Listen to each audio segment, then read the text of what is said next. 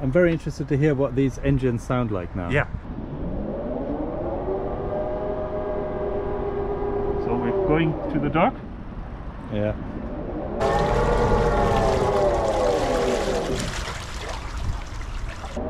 and go back.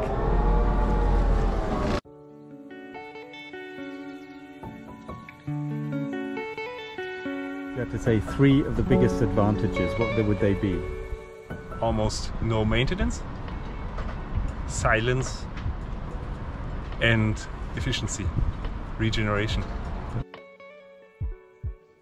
First of all, of course, it's so silent, and everybody knows if you're going by engine and you have the wind from the back, you have always the smell of the diesel. If you don't have to have it, life on board, especially with kids, is so nice. It's silent even on the engine and no smell. And yeah, it's sustainable as well. asked about uh, range. I would say usually we would go out of here under electric motors, set sails outside, start sailing, and uh, motor electric under electric power back to whatever anchorage or marina, tie up, and no need to run the generator. At It's- all. And after, after all of that, cooking a meal for four person, having the full equipped kitchen, you can use the induction stove, everything. Why did you do it and would you do it again? Of course, it, it doesn't make sense for me in these days to buy diesel engines for propulsion. Uh, the efficiency is so much higher if you if you see that we run a 20 kilowatt generator for a third of an hour uh, to recharge the battery bank. And we uh, continue motoring with four to five knots on a 20 ton boat. This is amazing. And the generator uses around five liters per hour. So now you can now tell me how much your diesel engines uh, consume and you need both of them on so What's the biggest problem you encountered um, that made you feel that electric was the right choice then?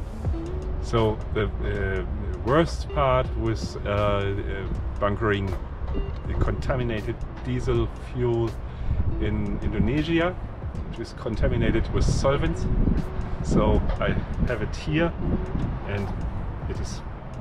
You can smell the solvent in it. It's terrible Why have you kept a tiny bit of diesel from Indonesia? because I want to prove that this caused the generator engine to fail miserably uh, because the solvents uh, destroyed most of the uh, So engine was- parts. So that's yeah, this is That was our costly. receipt. So this cost us more than 10,000 euros to fix the problem.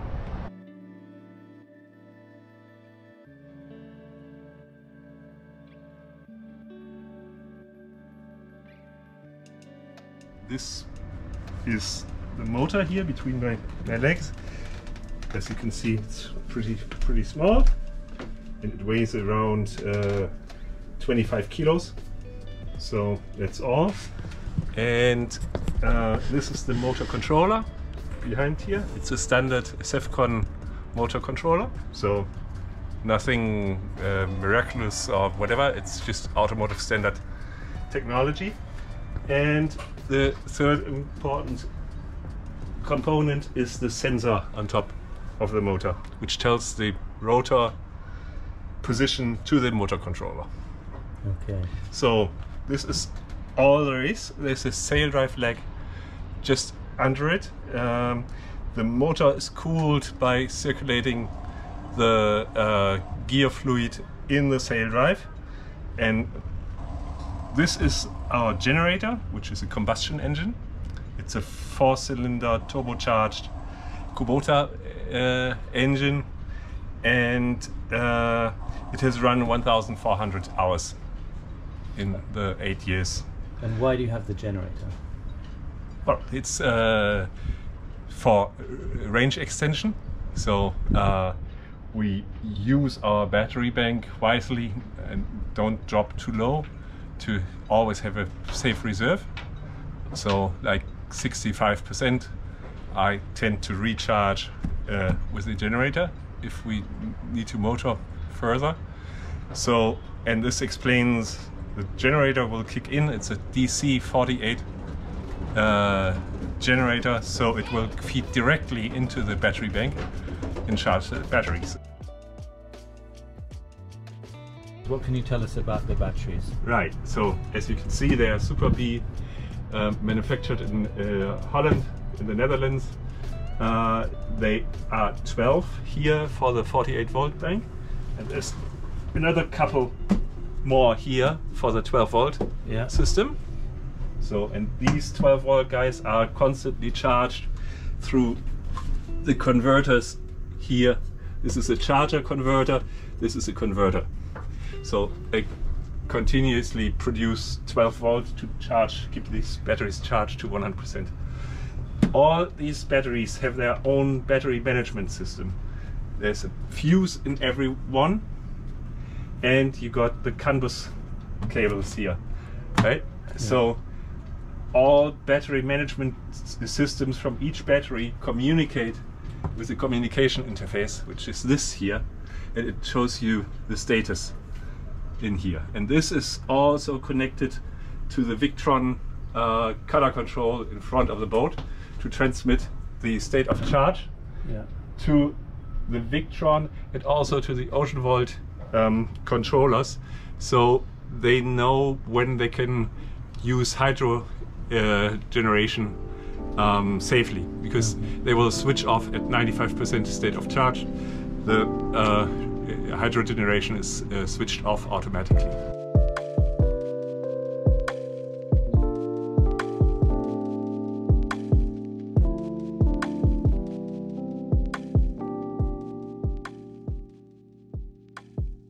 And in terms of the battery life, you've sailed around the world with these batteries. How much life is left? We know that a battery will not live forever. Yeah. Where uh, an engine also, everybody's always looking at engine hours. If you compare it, where are these batteries? So we have uh, roughly 850 cycles on the batteries, which is roughly a tenth of, of the lifetime of the batteries, Okay. which is between 8 to 12,000 cycles.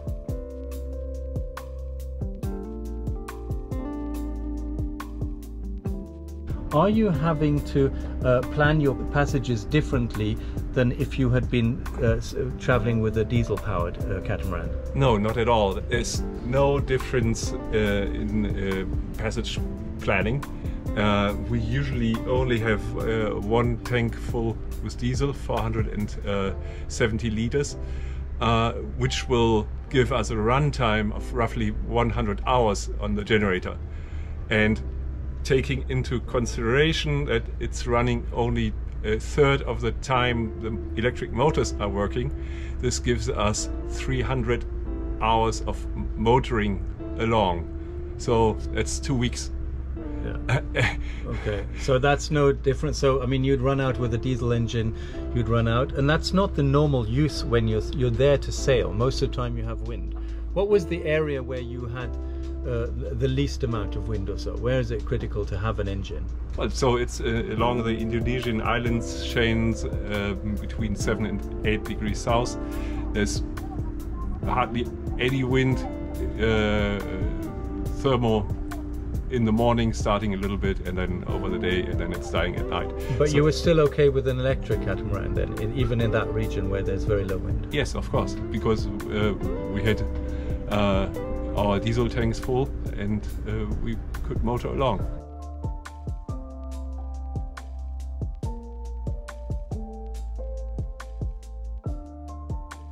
What, what I'm concerned about is that um, you're an engineer, you understand a lot about this boat, but people that just want to go boating, yeah, they want to turn a key, they want, they know how to sail, they want engines that'll just run, they want something that's simple. Can you use this, or do you need to be an electrical engineer to be able to maintain this boat? No, no, no. Uh, so, I mean, when we started, I didn't have uh, much ideas about the CAN bus and uh, connections everywhere and how how the motor controller works. This is all discovered on the journey. How easy is it to know whether something's going wrong or if everything's all right? Very easy because uh, the Victron color control will tell you about anything that's uh, a warning situation or, or things that are not normal. So it's you don't need to do anything on a daily basis to to maintain the, the system. You just monitor in the morning. I click on the color control, tells me uh, state of charge of the batteries. I personally prefer 65% because then I charge from 65% to 85%, uh, which usually means uh, 20 minutes of uh, generator running per hour. So the run, so the generator just runs for short intervals, and that allows you to keep going infinitely. Then. Well, inf- uh, uh, until your uh, diesel is, is gone or Okay. your generator will fail. But it's a long. Okay. but it's a.